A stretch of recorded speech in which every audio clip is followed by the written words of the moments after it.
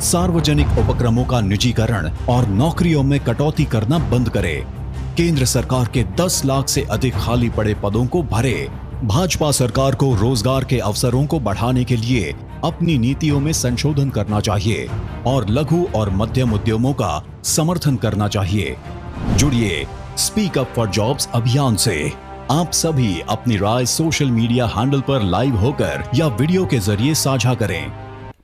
Sonia Gandhi, in her live video message, asked the Modi government to put direct cash of rupees 7,500 per month in the account of every family for the next six months and provide rupees 10,000 immediately to ensure safe and free travel of the laborers back to their homes.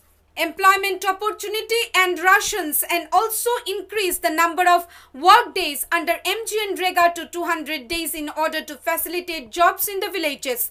The Congress further added that instead of loans, the government must provide financial relief to small and medium industries so that crores of jobs are saved and the country progresses.